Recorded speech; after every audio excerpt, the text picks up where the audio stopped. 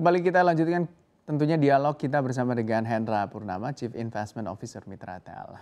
Eh, Pak Hendra, kami lanjutkan kembali dialog kita di siang hari ini melihat bahwa Mitratel menargetkan untuk menjadi digital infraku mulai tahun 2023 mendatang seiring tentunya dengan perkembangan penggunaan teknologi 5G. Bisa Anda jelaskan lebih detail terkait dengan rencana besar ini dan bagaimana rencana strategisnya pada tahun 2022? Jadi kita emang di bisnis uh, tower kita mengantisipasi adanya uh, perubahan ya, di mana kalau uh, di tahun sekarang ataupun tahun sebelumnya itu banyak menggunakan uh, 4G. Nah, kita harapkan di tahun 2023 itu 5G sudah mulai uh, banyak digunakan oleh uh, masyarakat dan kita emang aiming untuk mempersiapkan uh, Mitratel untuk menjadi salah satu tower operator yang siap uh, untuk melayani uh, 5G. Nah, bagaimana cara kita untuk bisa ke arah sana? Jadi salah satunya itu kita meningkatkan fiberisasi untuk tower-tower kita. Ini pun kita bekerja sama dengan Telkom, di mana Telkom itu sudah memiliki jaringan fiber optik sekitar 96 sampai 98 persen di seluruh kota di Indonesia. Uh, di samping itu juga kita kemarin uh, baru saja menandatangani uh, MOU kerjasama dengan uh, Alita juga untuk pengembangan fiber optik.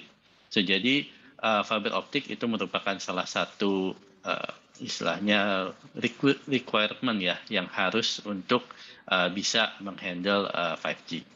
Nah, uh, di samping kita bekerja sama, kita juga secara organik kita akan membangun jaringan fiber optik kita sendiri.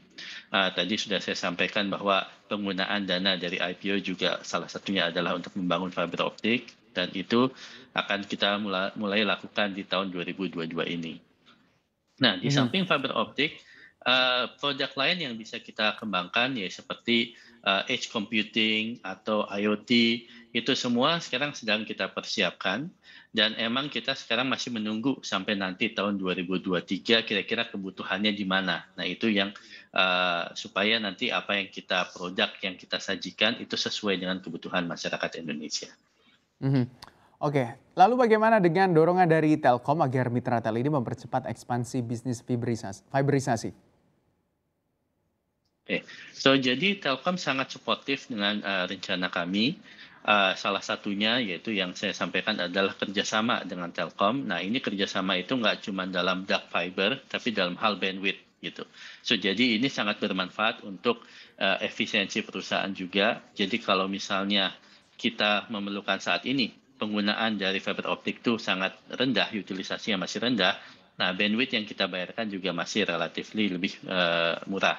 Tapi begitu kebutuhan masyarakat mulai meningkat, bandwidth yang dibutuhkan makin banyak. Nah, kita at any time dengan Telkom bisa meningkatkan uh, bandwidth, tersebut, tentu dengan uh, fee yang sesuai.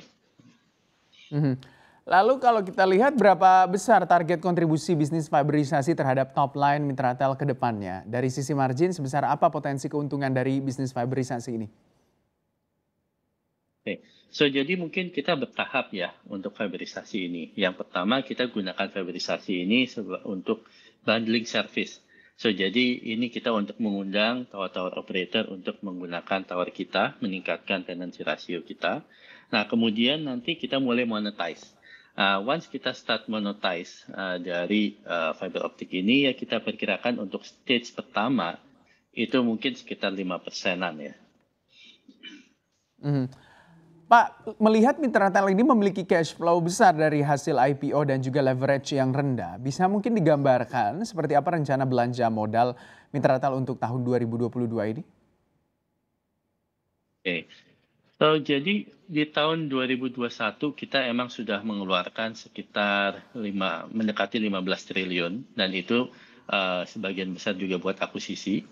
Nah, di tahun uh, 2022 kita menyiapkan sekitar 10 triliun. Nah, 10 triliun itu uh, sesuai dengan target kita di mana 3000 kita siapkan uh, tiga, kita akan mengakuisisi sekitar 3000 tower dan di samping itu uh, yang uh, pengembangan untuk uh, organik bisnis kita lainnya. Mm-hmm. Uh, melihat juga bahwa Mitratel ini akan mendorong efisiensi di tahun depan. Sebesar apa target efisiensi Mitratel dan juga strategi serta sektor apa saja mungkin yang disasar untuk meningkatkan efisiensi? Jadi kalau dari efisiensi, yang pertama kita akan kerjasama dengan uh, vendor-vendor kita ya. Dengan skala kita yang udah jauh lebih besar, di mana nanti akan dilakukan akuisisi, itu economic skill kita akan lebih baik. Dan economic skill dari para vendor itu juga akan lebih baik. Nah, di situ efisiensi akan mulai timbul lagi. Itu yang pertama.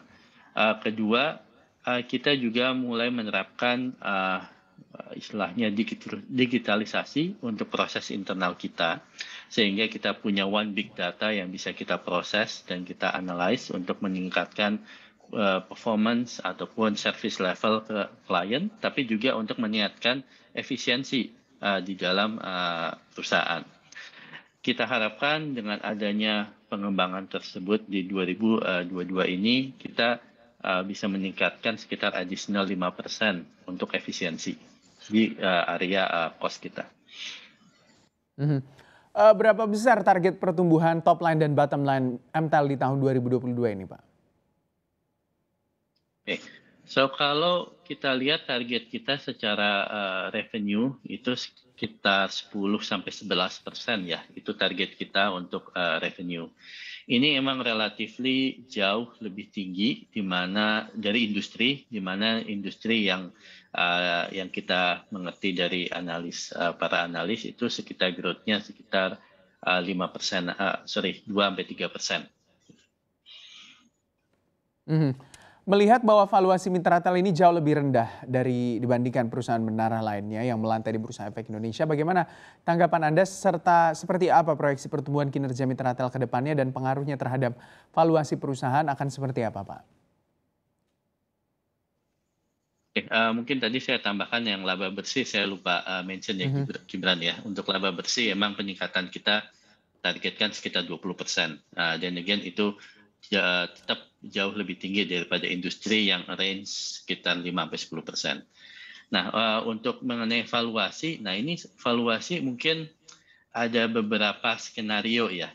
So, jadi tergantung kita menilainya dari valuasinya seperti apa. Nah, kalau kita melihat uh, EV EBITDA, uh, contohnya, uh, EV EBITDA dari uh, perusahaan sejenis uh, di Indonesia yang kurang lebih comparable dengan Mitratel, itu ranging sekitar 8,3 sampai 16 eh, eh, kali EV EBITDA tahun 2022. Nah, kita sendiri ada di sekitar 12-an eh, gitu. So jadi kita kuat in the middle, kurang lebih di tengah-tengah. So jadi kalau dibilang kita valuationnya mungkin uh, relatif lebih rendah ya enggak juga, tapi kalau kita dibilang valuasinya mahal ya enggak juga. Jadi kita relatif uh, in the middle di situ.